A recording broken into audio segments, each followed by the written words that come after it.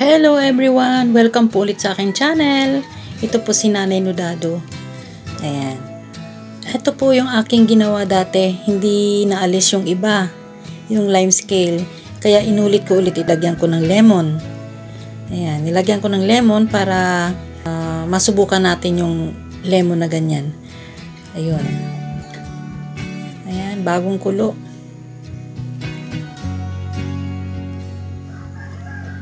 Ayan, tininan ko po kung may naalis. Parang wala namang naalis. Siguro meron pero konti lang.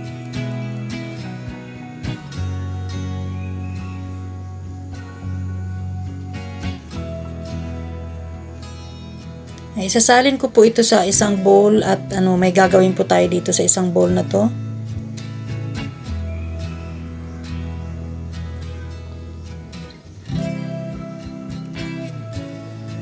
Yan, ipapasok ko po dito sa oven dahil itong oven ay marumi, hindi nalinisan pagkatapos ng luto. Kaya ayan, medyo tumigas yung kanyang mga dumi dyan sa paligid na yan. Tumigas ang dumi dyan kaya papasok natin itong bowl para yung moisture niya ang magpapalambot sa mga dumi na yan. Yan, try natin itong ating ganitong uh, klaseng video na nakita ko na naman ulit sa syempre dito sa ating uh, YouTube. Ayan. iiwan lang po natin yan siya ng 24 hours dahil kinabukasan ko yan siya kukunin. Tapos ang ano, ang, ang mga dumi dyan. Sa palagay ko lalambot po ito after 24 hours. At eto na nga guys, 24 hours na nakalipas. Ayan. Madilim ano po.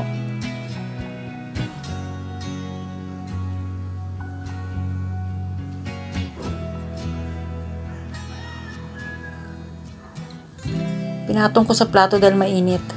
I-check po natin yung ano yung mga dumi. Ayun, may moisture na po. Ayan, ang kanyang moisture dahil nga sa bagong kulo yun, nilagyan din natin ng lemon, kasali na yung lemon dahil yung lemon ang nagpapa-fresh din naman ng amoy para maalis yung amoy ng ating mga oven. Dahil kung ano-ano nga niluluto natin sa oven, kailangan maalis yung amoy.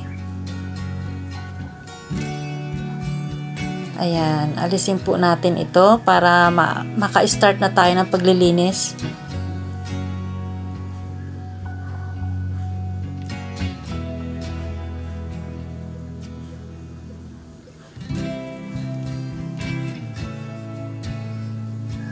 Ayan po, ginamitan ko ng ano, ng uh, yung tawag dito, sponge.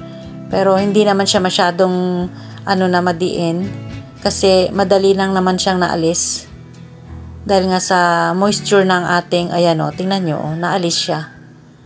Ayan, dahil nga sa ating uh, nilagay na bagong kulong tubig na may lemon para maalis yung mga amoy-amoy dyan.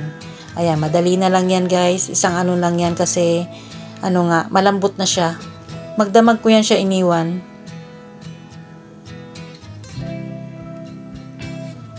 Sensya na po sa ano, sa dilim kasi madilim nga. Kahit na umaga madilim doon banda sa may kusina. Hindi naman sa bandang kusina, doon lang banda sa kanyang ganyang pag-open.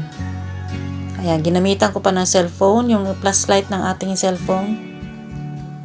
Ayan, oh, paunti-unti na naalis na. Konting kuskus lang po yan. Hindi na may nakakagasgas.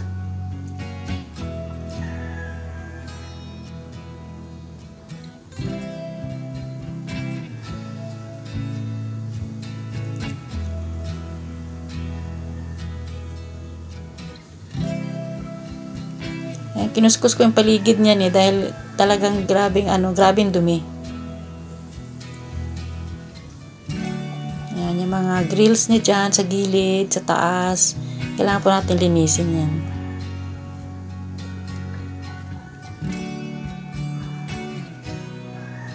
Ayan, tingnan nyo mga ano niya, ang mga grills niya. May mga oil. Ayan. Ayan guys, ito na siya. Oh, 'di ba?